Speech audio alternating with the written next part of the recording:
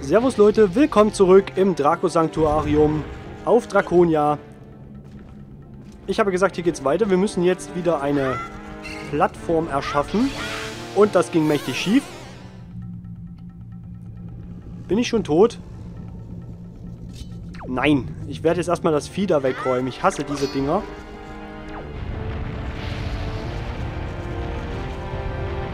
Ja, na komm. Oh. Ja, das, das hat ja super funktioniert. Oh Mann. Jetzt bin ich schon wieder gestorben.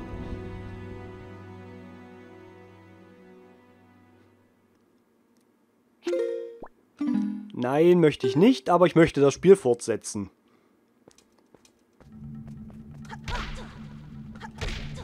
Ach, Link, das sind nur Stufen.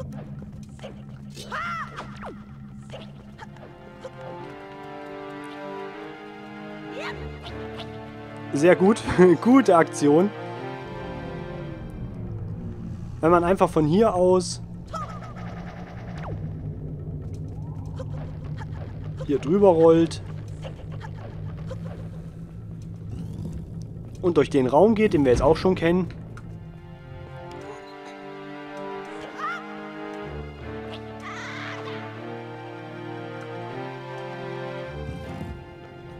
Dann sind wir auch schon wieder da. Aber ich möchte jetzt erstmal dieses Vieh wegräumen, weil es wirklich extrem stört.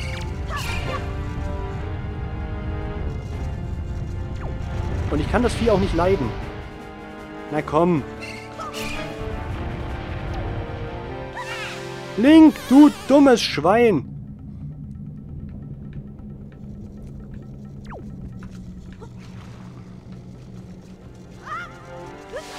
Noch, das gibt es nicht. Es nützt nicht, dieses Vieh zu besiegen, nichts irgendwie dran vorbeizuhüpfen. Ich muss es jetzt einfach irgendwie schaffen.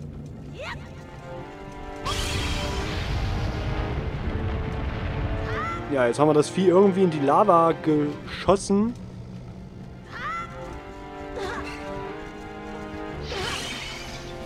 Ah, cool.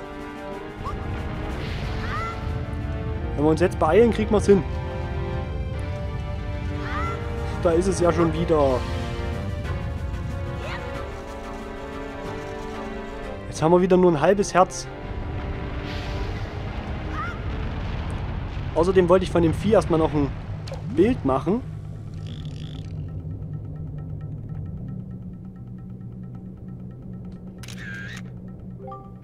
Nee. Sehr schön, jetzt müssen wir kurz warten.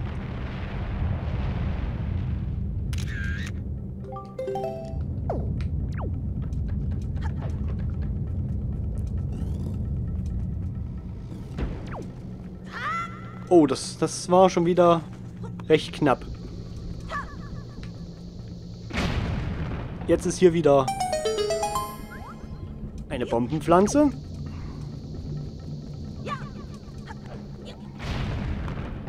Mist, hat nichts nicht geklappt. Wenn man da so einen Seitsprung macht, kommt man etwas schneller zur Tür. Und wir sind draußen beim ehrenwerten Walu, der ziemlich außer sich scheint. Ah, hier sind wieder Treppen, die das wieder alles unterbrechen können, das Rollen. Aber das lief ja ganz gut. So, wir haben ein halbes Herz und müssen jetzt hier noch kämpfen. Hoffentlich geht das gut.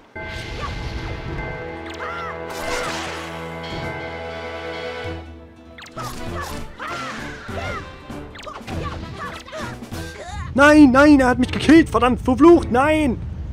Oh, scheiße!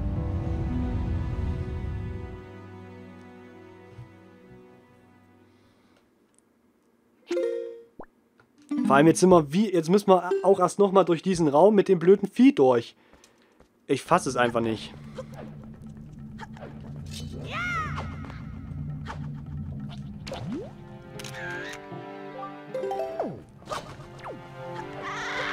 So, die Fotos brauchen wir später alle noch. Ach verdammt, Link.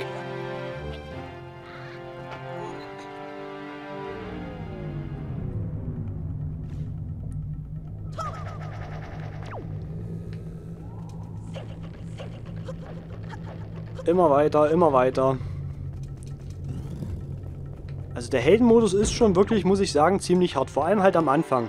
Der Anfang ist immer das Problem.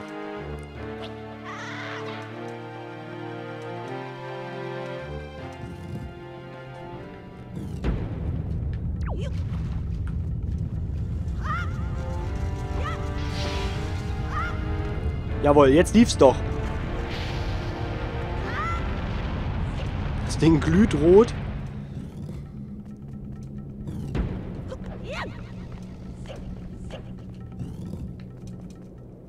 Mal sehen, ob jetzt der Kampf wieder ganz von vorne beginnt oder ob wirklich nur noch einer dasteht.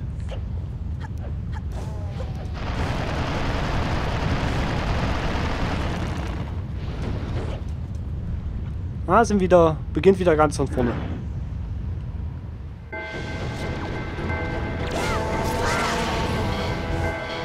Steht auf!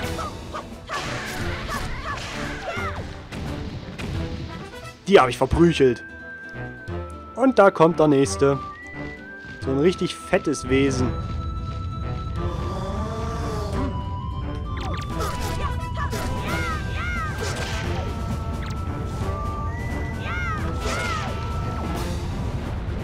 Oh, alles geht vorbei.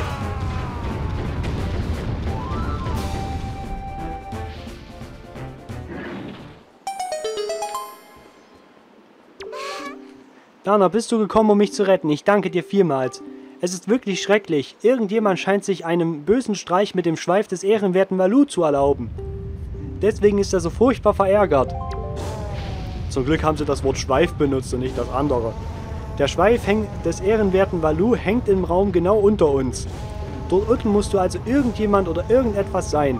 Bestimmt haben die Monster, die mich vorhin entführt haben, etwas damit zu tun. Bitte, du musst schnell etwas unternehmen. Ich werde inzwischen die anderen über diese Umstände aufklären. Dana, bitte nimm das hier und benutze es, um von hier wegzukommen. Dessen habe ich mich immer bedient, bevor ich zum ersten Mal hierher kam. Es war ein weit verbreitetes Werkzeug beim Volk der Oni, bevor wir alle Flügel bekamen. Du hast den Greifhaken erhalten. Ein Gegenstand, der beim... Wenn du ihn auf dem Boot benutzt, kannst du im Meer verborgene Schätze heben. Das ist cool. Dana, hier lang. Wir können das jetzt natürlich machen, dass wir uns von hier aus dann da drüben noch, da... Ja, wow, warum labert die mich an? Moment. Hier da drüben ist dann auch noch ein Greifhaken und da kommen wir nur wieder zu der Tür, durch die wir gerade hier schon durch sind. Das ist das Beste, wir speichern jetzt. Gehen zurück zum Titel.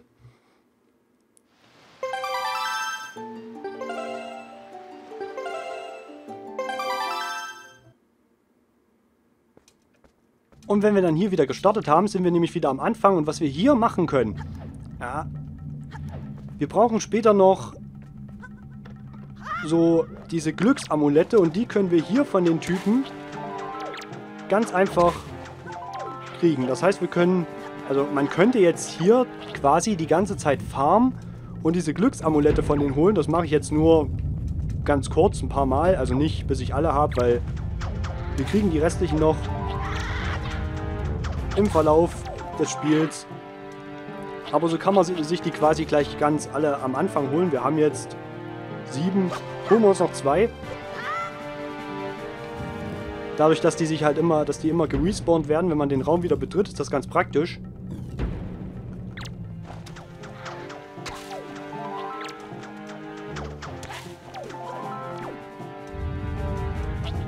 Und dann geht's jetzt hier rein. Jetzt wird's... Oh, verdammt, der hat mich noch erwischt. Jetzt wird's ziemlich lustig. Hier gibt's einen ziemlich coolen Trick. Mal gucken, ob er gelingt. Ja, das war jetzt nicht so toll. Ja, gut. Äh, man kann auf dieses Ding kommen. Mal gucken, ob es mir noch gelingt.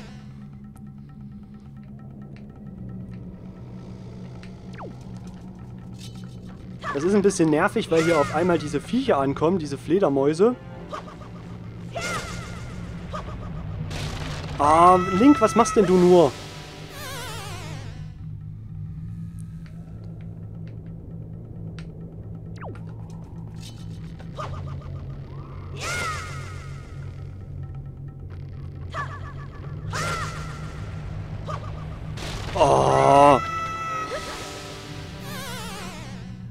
Also wirklich. Ich krieg gerade die Krise hier. Ich glaube, ich bin tot. Nee, ich lebe noch.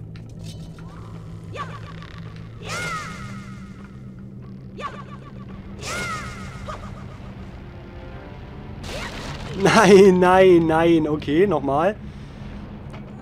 Das kann eine Weile dauern, aber der sieht wirklich cool aus, wenn er klappt. Na toll, jetzt bin ich wieder hier.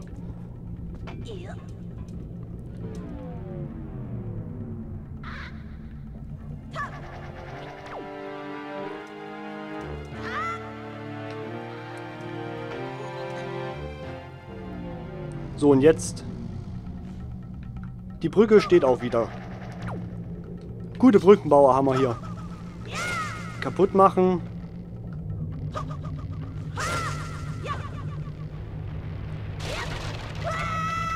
Ja, es hat geklappt. Und dann ist man nämlich sofort hier unten, skippt ein ganzes Stückchen und kann sich dann sofort an den Haken hängen.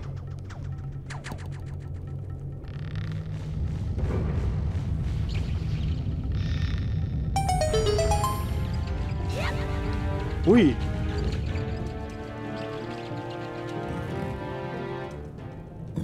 Und dann können wir hier weitermachen. Wir müssen nicht erst da drüben landen, dadurch, dass man hier jetzt das so drehen kann, kommt man schnell weiter. Oh Mann, ich bin gleich wieder tot.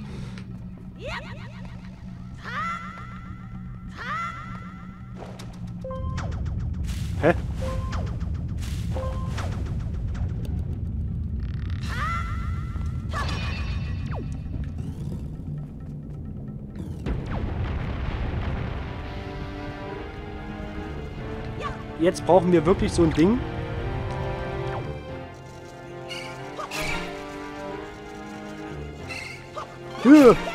Nein! Ach, das ist schlimm.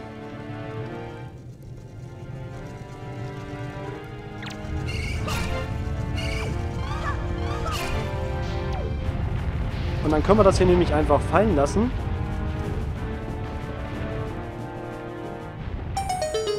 Hä? Ja gut, ich habe es aus irgendeinem Grund wieder aufgenommen.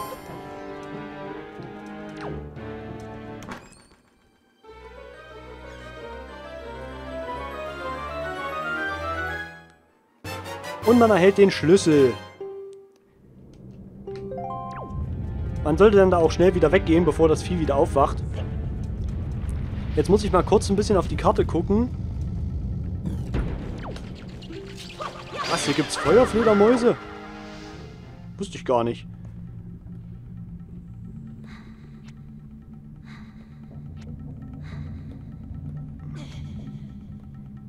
Ja, zwei Truhen haben wir verpasst, die holen wir uns später noch. Ne, eine Truhe. Eine Truhe haben wir nur verpasst.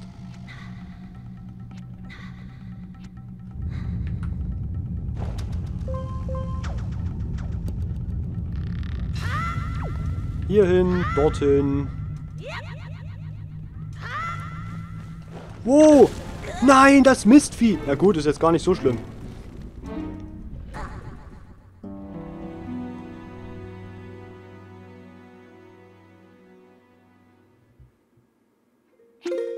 Ich speichere jetzt einfach mal, weil sonst haben wir den Schlüssel ja gar nicht mehr. Das ist mir gerade aufgefallen.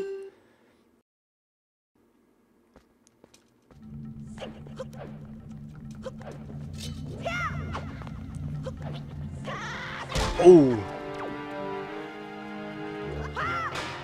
Na, das war nice. Und dann sind wir nämlich direkt hier und dann nehmen wir einfach nochmal den Topf und sind beim Endboss.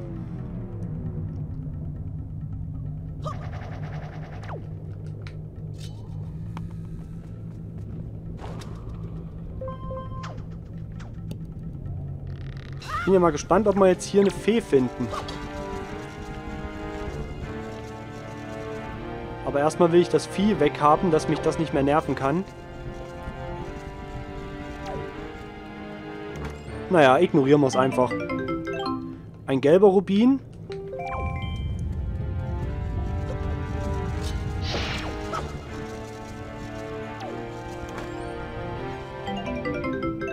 Ein Ritterwappen. Jeder Schwertkämpfer, dessen Fähigkeiten ein meisterliches Niveau erreicht haben, weiß seinen Wert zu schätzen. So, Flasche ist bereit. Und die ist einfach abgehauen.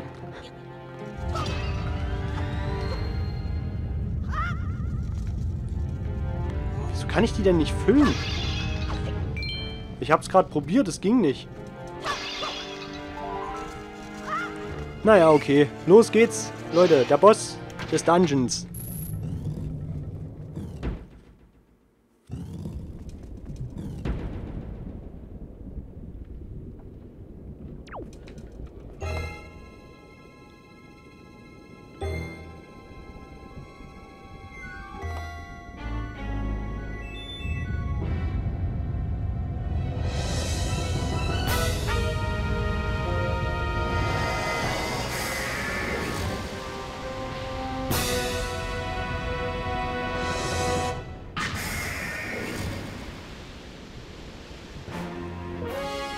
Ja, das ist...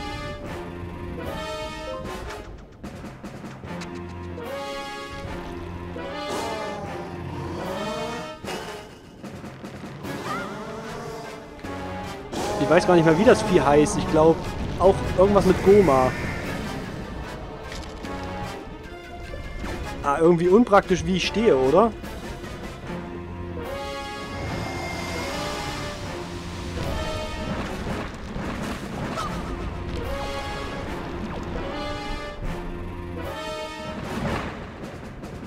Bin hinter dir.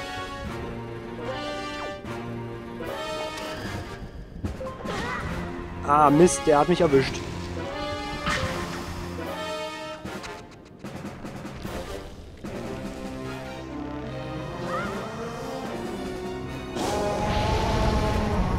So, jetzt kommt er wieder runter, der ehrenwerte Valu.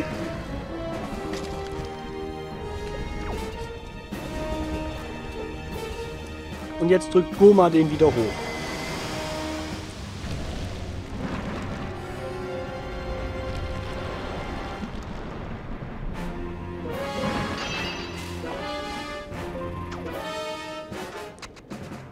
Und dadurch, dass wir uns jetzt über ihn schwingen... Naja, das war jetzt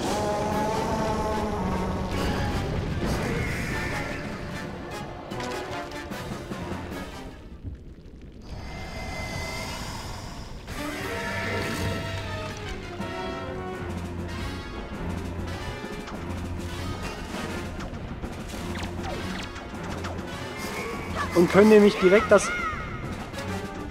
Komm her, gefälligst. Link, was ist denn hier nur los?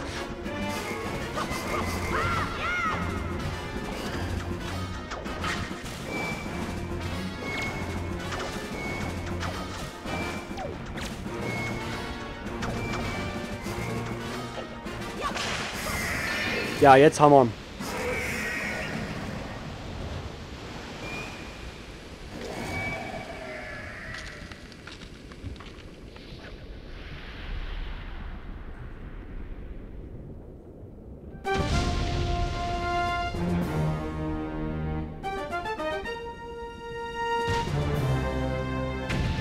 Ja, immer dieses Auge ist, irgend, immer, ist irgend, immer ein Goma.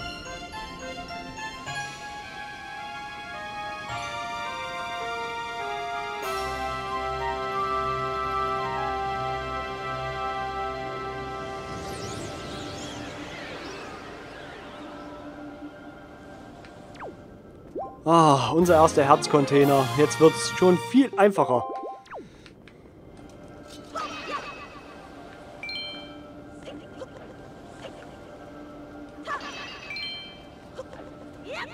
So, dann kommen wir hier wieder zurück.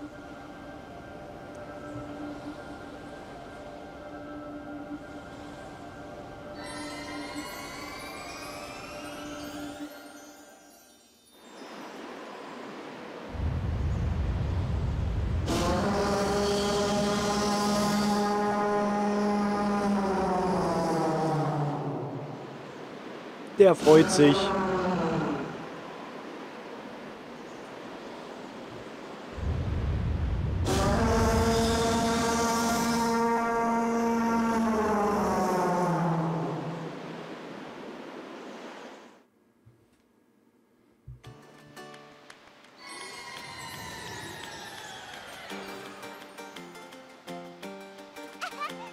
Dana!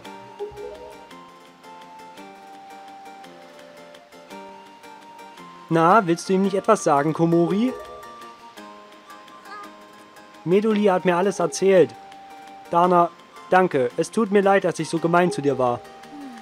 Ob ich eines Tages auch so mutig werde wie du, werde wie du, Dana?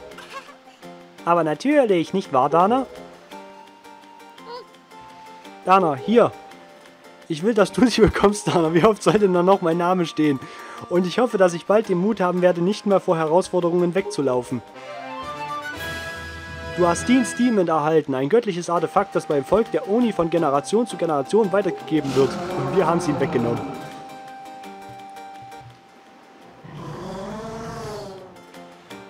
Der ehrenwerte Valu möchte dir auch seinen Dank aussprechen, Dana.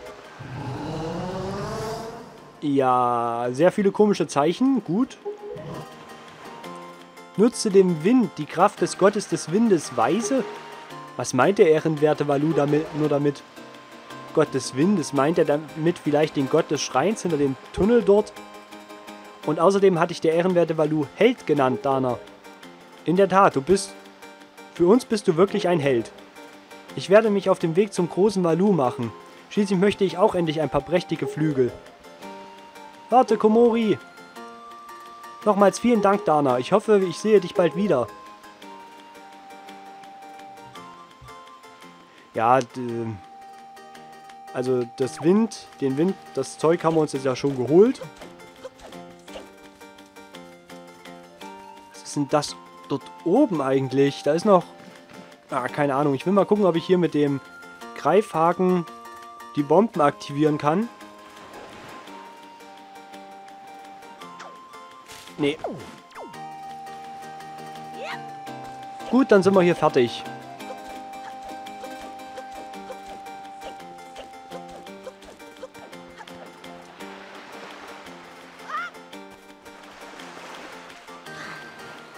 Ja, ich, trinke, ich ertrinke jetzt in der Zeit. Es hat ganz den Anschein, als hätte Ganon seine Herrscharen geschickt. Wenn das wirklich wahr ist, dann dürfen wir keine Zeit verschwinden. Wir müssen zum nächsten Demon. Setze die Richtung und nimm Kurs in Richtung Süden.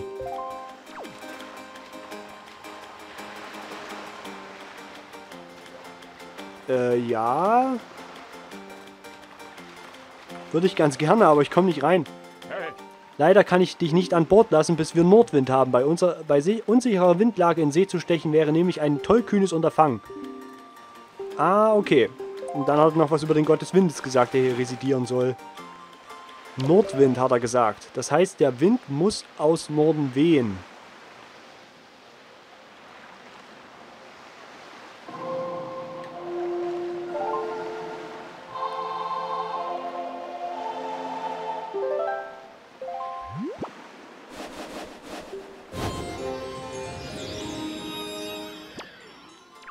Jetzt müsste es richtig sein. Yep. Wow, das ist ein ganz schönes Stück.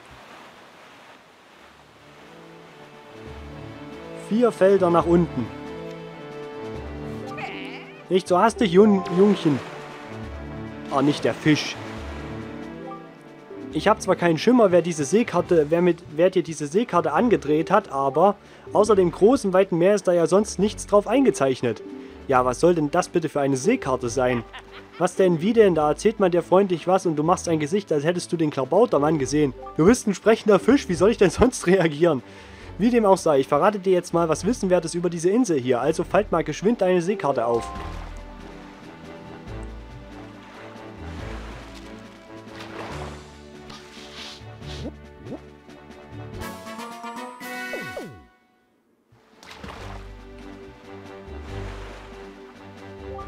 Auf der Rückseite von Draconia, der Insel hier, befindet sich eine höchst verdächtige Höhle. Tja, nur zu dumm, dass du keine Flügel hast, denn ohne eine kleine Flugeinlage wirst du da leider kaum hinkommen. Aber man kann wohl nichts dran machen, also lass den Kopf nicht zu sehr hängen. Das war's soweit von mir. Außerdem werde ich auch all meinen Kumpels von den anderen Inseln Bescheid sagen. Wenn du also hier in der Nähe einer Insel einen Fisch herumspringen siehst, dann wirf ihm doch ein wenig Futter zu. Dann zeichnet er die Insel auf deine Seekarte ein und verrät dir noch eine nützliche Information obendrein. Hey, rote Lawyer. Nee, roter Lawyer.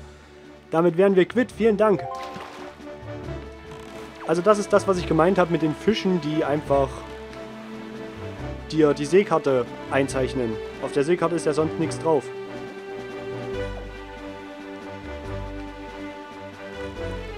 Auf zur nächsten Insel.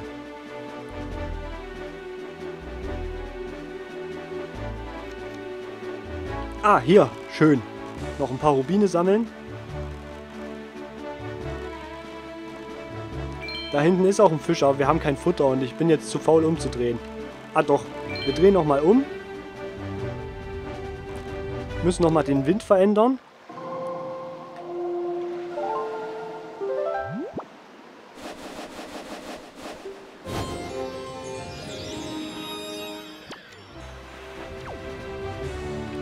Da holen wir uns nämlich gleich mal ein bisschen Futter, machen noch die Inseln auf dem Weg gleich, lassen die gleich einzeichnen und beenden dort auch erstmal den Part.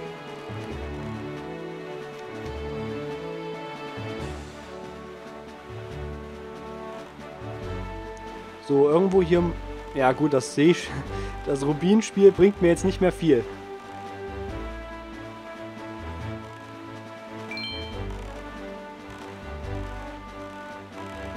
Naja, die nehmen wir noch mit. So, und jetzt schon nicht mehr.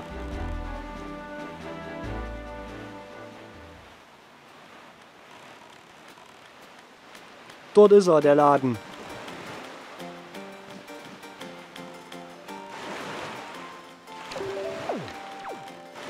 Nein, du sollst vom Bord gehen.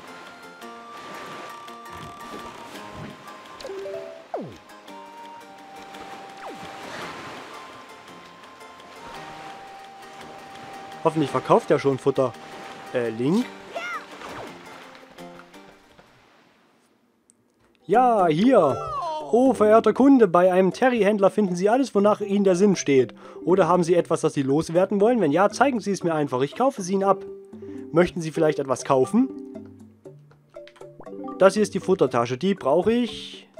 Ja.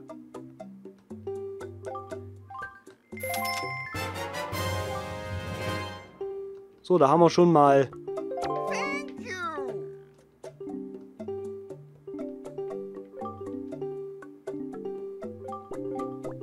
Und jetzt kaufen wir noch ganz viel von dem Futter. Drei Portionen. Das reicht, wenn wir zweimal kaufen. Damit haben Sie jetzt zwei Punkte gesammelt. Sammeln Sie 30 Punkte und Sie werden ein VIP-Kunde.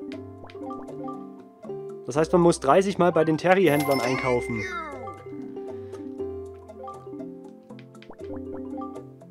Dann nehmen wir noch eine Put-Put-Frucht mit.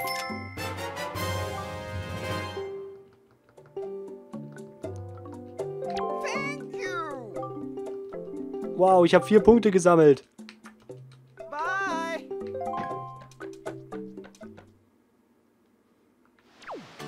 Wo ist denn jetzt? Ah, dort ist er. Okay, Leute, und dann beenden wir hier erstmal den Part und sehen uns dann beim nächsten Mal wieder. Haut rein!